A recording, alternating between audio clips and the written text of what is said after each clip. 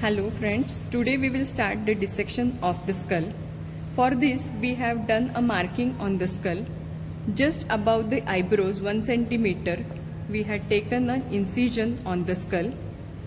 After taking incision we had cut this with the saw, chisel and hammer and we now will separate the skull cap.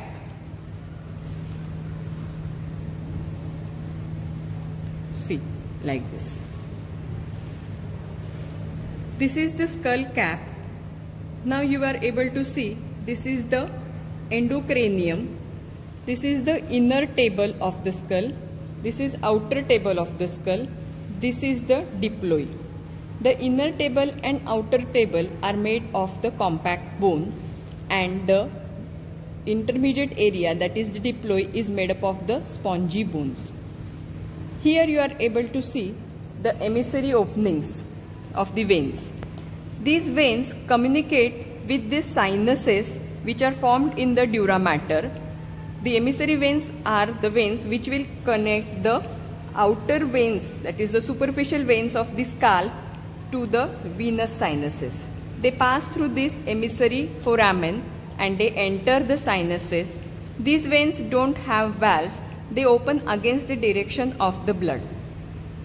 Now after removing the skull cap, you are now able to see this is the dura mater that is the outer covering of the brain that is the outer meninges. The dura mater is fibrous tough structure which will line the skull from the interior. Now the dura mater gives out four folds which will go inside the brain. Here this is the fold we have removed. this is the cerebrum.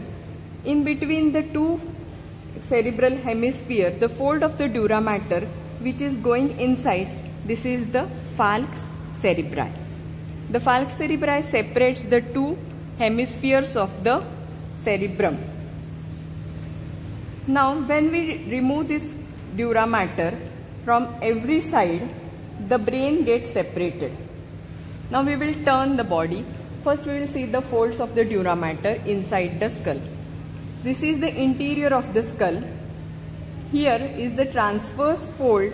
This is the tentorium cerebelli which will separate the cerebrum from the above compartment and just below this transverse cere uh, tentorium cerebelli in the posterior cranial fossa that is the orbital fossa, uh, orbital bone here occipital bone here you will find the position of the cerebellum. The tentorium cerebelli will form two compartments in the posterior cranial fossa. Above that is the cerebrum and below that is the cerebellum. The cere falx cerebri, just now we saw the falx cerebri which will now enter the two cerebellar hemispheres will form a venous plexuses.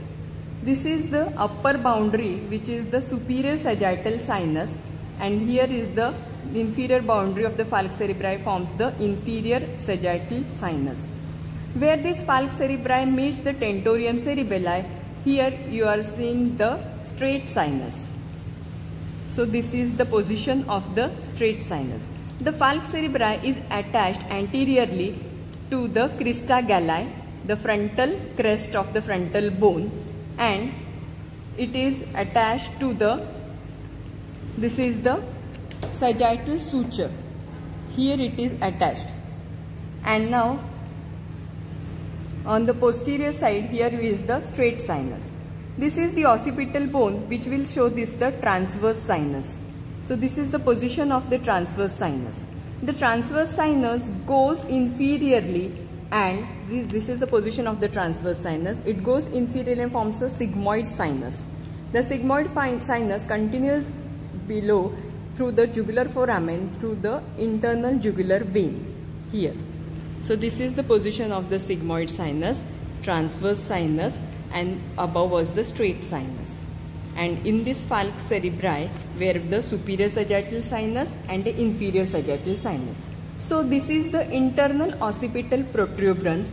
Here you will see the confluences of the sinus. These sinuses carry the venous drainage of the brain. Now we will turn the body and we will see the confluences of the sinus.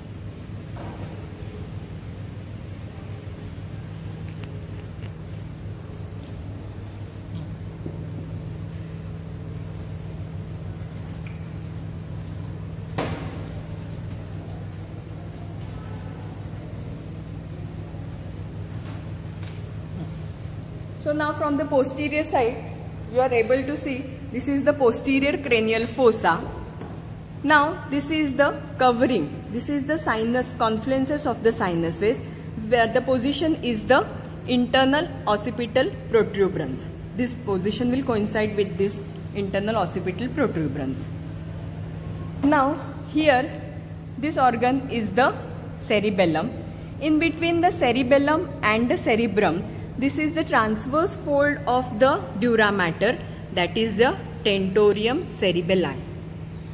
In this model, we had see, shown the tentorium cerebelli like this. So it is the tentorium cerebelli this way. So which will go in between the cerebrum and the cerebellum. Now just below that cerebellum you are seeing this foramen magnum. So here is the position of the foramen magnum.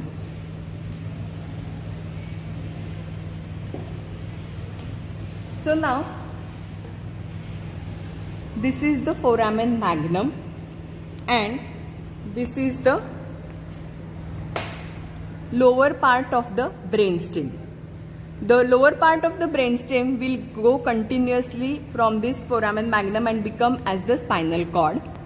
Here the con other contents of the foramen magnum are also seen. These are the vertebral arteries. These are the vertebral arteries. These are the rootlets of the 11th and 12th cranial nerves. And here is the internal acoustic meatus. Here you are able to see these are the rootlets of the vestibulocochlear nerve which will enter the internal acoustic meatus. And here see these are the fine rootlets which you are able to see. These are the rootlets of the 9th 10th cranial nerves. The 11th cranial nerve that is the accessory nerve has two roots.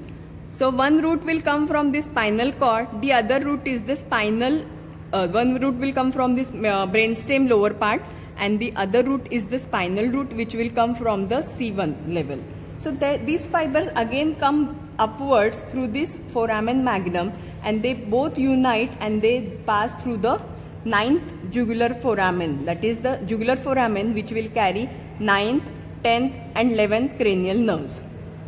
So now this you are able to see these are the vertebral arteries.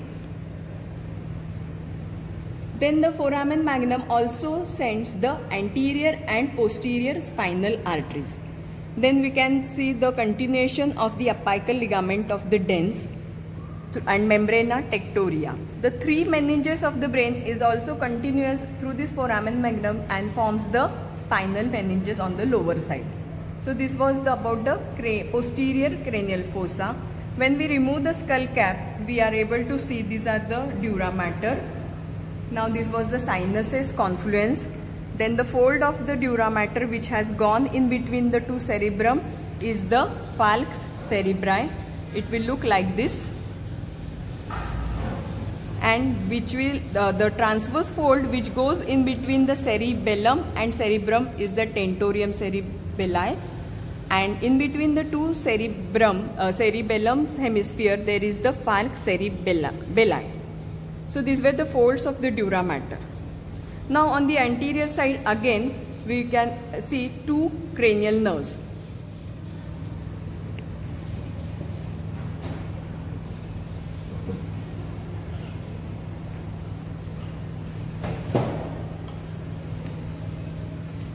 See now. When we remove this dura mater here, this is the first cranial nerve, this is the olfactory bulb and tract on this side it, it is prominently seen. This is the first cranial nerve. This is the olfactory bulb and tract. Now here this is the optic nerve.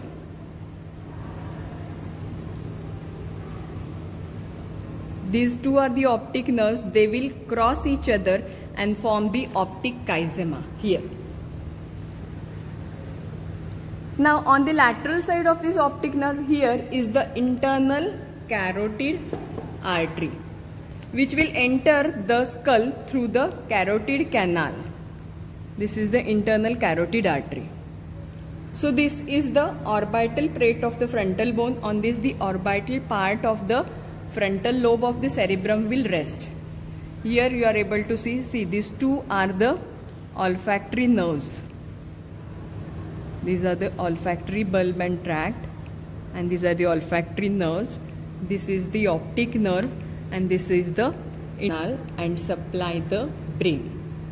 Thank you. This was all about the cranial cavity dissection and in the letter we will see the each part of the brain.